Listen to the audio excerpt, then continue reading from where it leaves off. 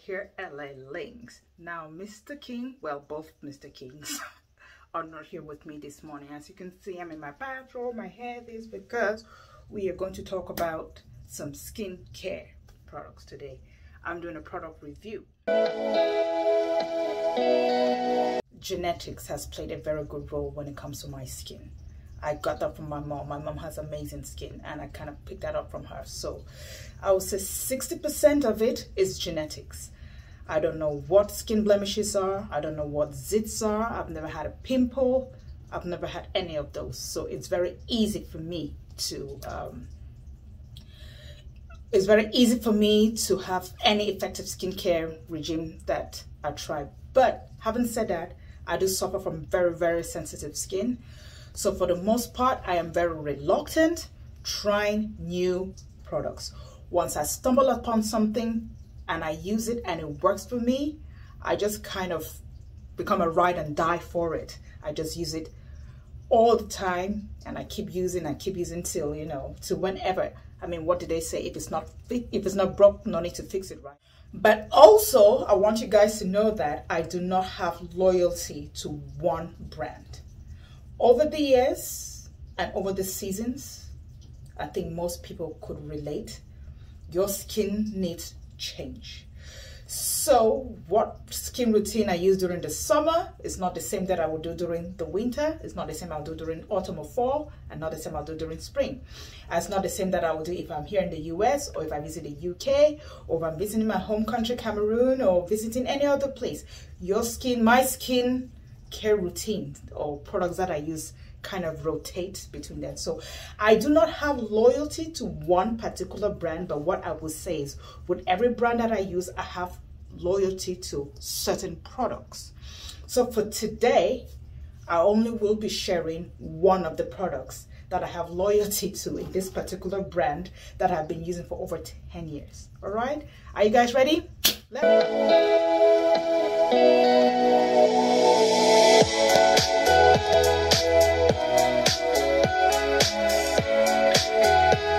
What I use every day. When I have a shower, the complexion soap. Now people are going to wonder why a bar soap, okay? When I was growing up, we didn't know of all these liquid soaps and things like that, okay? We knew the bar soap. So one of part of it is, is mostly habit. And then secondly, when I was introduced to this, um, to this brand, the Clear Essence, they didn't have the liquid soaps at the time. Maybe they do now, I don't know, but I've become comfortable with the bar soaps. It works for me. And so I keep on telling people, if it's not broke, don't fix it. But if I do see the liquid soaps, I will try. But I'm still a bit reluctant to try because even though genetics has blessed me with good and smooth skin, I have extremely, extremely sensitive skin. Now, these are not the original products. Well, are original products, but um, when the brand, when I was first introduced to the brand, this is not what the products looked like at the time things have changed. Packaging has changed, products have changed. So, I mean, but if you go to the websites and to the shops, you probably see some of the old products. I've tried the new ones, they work for me, so no point in going back, right? I don't really want to revisit the old unless there's an absolute need. So if this is your first try, first time trying them out, it's okay. I think you can jump into the new ones, that's fine. If you can lay your hands on the old ones, that's still okay. All right. But um, when I first started, this was not the bar of soaps that were existed. I tried the soap. When this new one came out, I tried it and see what happened.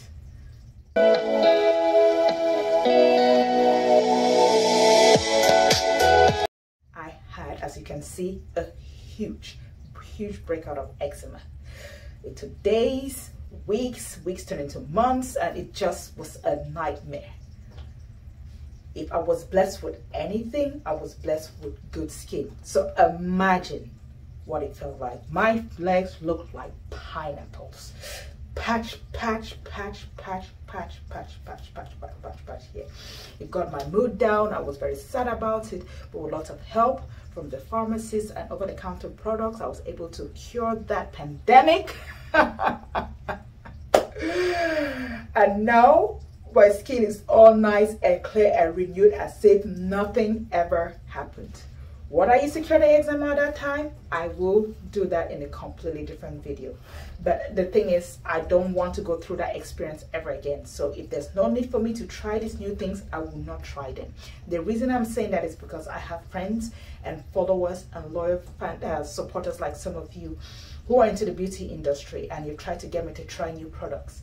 And I probably reply with a little bit of reluctance. And that's the reason why. It took me so much pain and suffering emotions, all of, all of that to recover from that episode and it's not something I want to do that. And it's not the first time I've done that over and over again over the years and it's just not worth the trouble.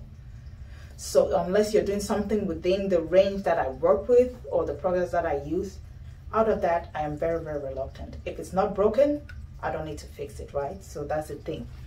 So but the strange thing is when I bought this I kind of got excited. I didn't just buy the one bar. I bought about three, four bars. So when that happened, I, was really, really, really, really, really, really, really sad. I said, okay, so what do I do? I can't even remember where I kept the receipt. Do I just cut my losses, forget about the whole thing? So I said, you know what? I'll just try the soap again and let's see what happens. Yes, I did try it. Strange enough, I never had any reaction. So some of the experts say when your body is going through some of that transitional period, trying to adapt to the new changes, that happens.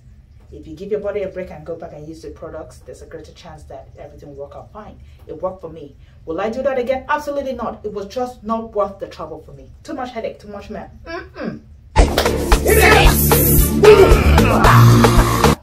No, no, no, no, no, no. So my suggestion is that if you want to try this, try small. Don't go splurging on entire brand, okay? Just look for one or two things that you can put to test. If they work out, then try expanding on the other things, okay? So I use that every day. And now let me show you something. When you use bar soaps, they get smaller and smaller and get to some point where they're of no use, right? And then you just want to throw them. I don't throw them. This is what I do with mine. I gather all of them, I grade them, put them in a container, mix them up with warm water so that they should all mix up. And at the end, this is what it looks like. See that? And I use it. Nothing really goes to waste, okay? And it still works out fine, same result, everything. That's fine. That's a tip I learned growing up. You know, grating soap and not throwing things like that. That's something like that. So it's very economical. It's very, very helpful. Now, a best way to get a full effect of this soap is that what I do is that when I get into the bathroom, I wet my body, I lather myself with a soap. I don't just rinse it off immediately. I try to do other things, maybe wash my hair or brush my teeth or clean this or clean that just play around a little bit just to give yourself about three to four five minutes. Well i'll say three four five or three to five minutes. Let the soap have some time to absorb on the body. Then after that i rinse it off because if you just jump in put it on and then rinse it off immediately it doesn't get the chance to absorb and do what it is that it's supposed to. Have it on my body. I'll just lay there for three to five minutes. I'm talking to you. But in the meantime i'm going to brush my teeth again probably brush my teeth while waiting. And um probably just clean the bathtub or something. So that will take up some time and before you know it, your three to five minutes is up. You've given your body the time that it needs for the soap to work effectively, right?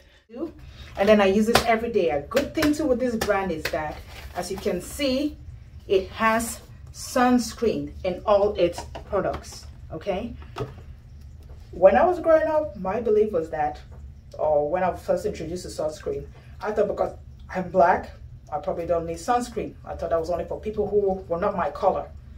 But unfortunately, that is a myth. Sunscreen is for everybody. We do get skin cancer. We do suffer from uh, sunburns.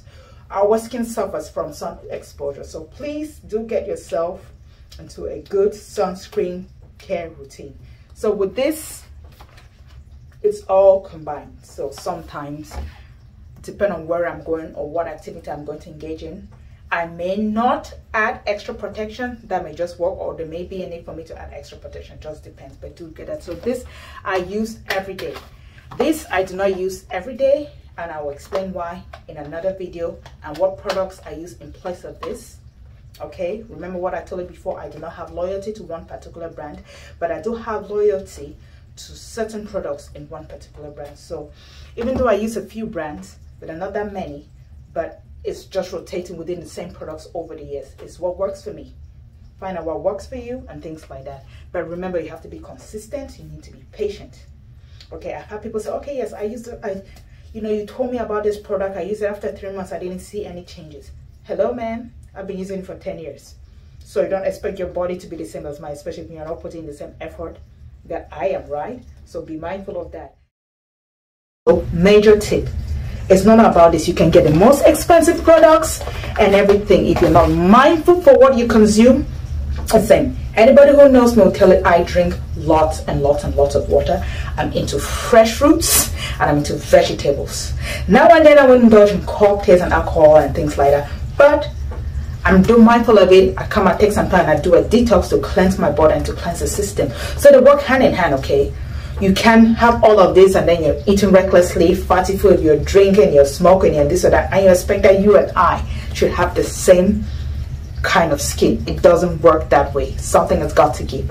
So if you want to have amazing skin, you want to look great, please be prepared to invest time and effort and also cut back on some of those unnecessary bad habits, especially when you hit 32 moving forward. I'm in my 40s, but when you see me, everybody looks at me and tells me you look great you have amazing skin and that's just what it is because the habits that i've carried on over and over the years yes i may overeat i may overindulge in that but i always stay true to hydration to what i eat and things like that sometimes not about weight loss but in effect when you do some of those things for those who are trying to cut back you just discover that yes you know once you make those changes here not only is your skin looking great yes you're beginning to lose the weight too if that is your goal or that's something that you desire, it will happen. So be careful of things like that. I do get uh, maintenance facials now and then, chemical peels for my whole body and things like that. When I go there, they ask me, oh man, you have great skin. What is it that you do?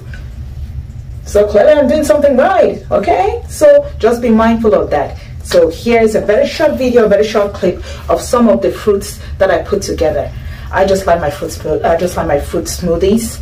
Well i'll just call them, people call them juice because i don't put any milk or any sort of protein to them.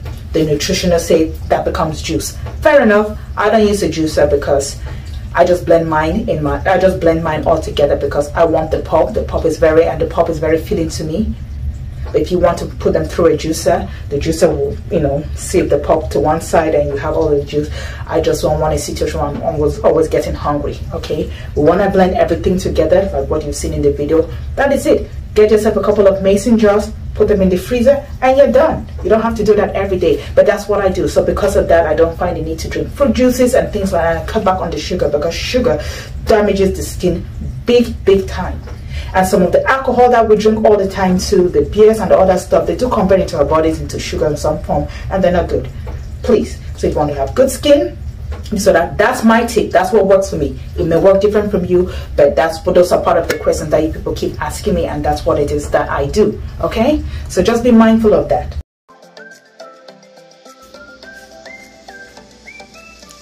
Hmm, mangoes lemons ginger cucumber mint strawberries the pineapple and of course the king the melon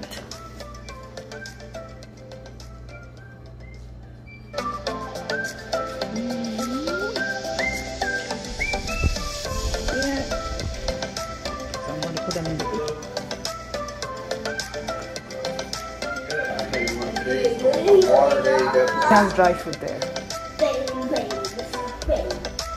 Oh guys, this tastes so good. So clean, so refreshing, healthy, and revigorating. You see that? You see me? Still without the filters?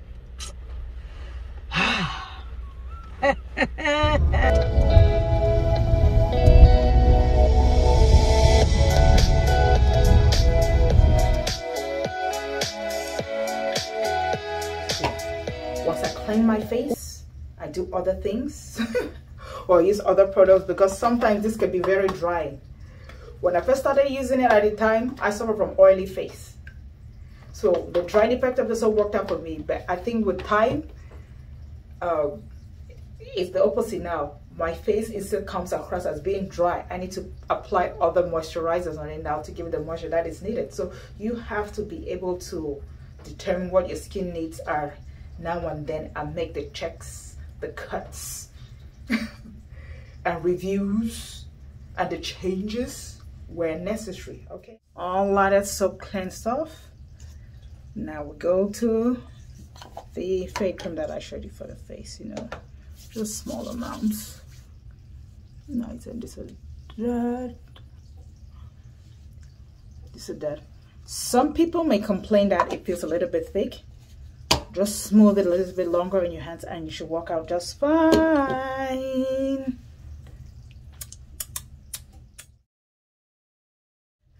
Now to the body part. Remember to shake. Some people complain or they feel that this is too thick. Sometimes I do, sometimes I don't. During the winter, when I'm just in a rush to get covered up because it's cold, the thickness doesn't bother me. But during the summer, it can be a bit of a problem. So use some sort of glycerin to water it down. I use rose water, that helps, but I don't mix it in directly. Okay, I put it at the side because it's not every time that you want to be doing that. Rose water or glycerin can take, can affect how this works on your body. So be mindful of that, okay? Let's go. So regardless of what products you're using, make sure that whatever you settle on, it's something that you can afford on the long run. You don't want to get excited and use products that you just use for about three months and then boom, changes in your circumstances or some impact on your finances or something that's come up that you can't afford that same high level of treatment. What are you going to do? So if you're one of those who you think that could be a possibility, please try these products. If not, whatever it is that you settle on to, the key is to be consistent. Make sure that they're affordable for you and they can carry on the long run. Okay? I'm not an expert in anything. I am only answering the questions that you've asked me, okay? I'm only going by my experience, what is working for me. If at any time, at any stage, you have any reaction to any of the products, please stop, seek medical and expert advice. Do not be like me who persisted, suffered, got cured, but tried again and it worked. It did work eventually, but it is not a trauma that I want to go through ever, ever again. So do not do the same. All right, guys? Be mindful, be resourceful, do your research. It's okay to try, but also know when to give up and move on. Go to the website, they're there. I mm. just get mine up from Walmart. This probably just cost me under five bucks, under five bucks. I am not sure, but this should have been under 10 or a little bit over 10.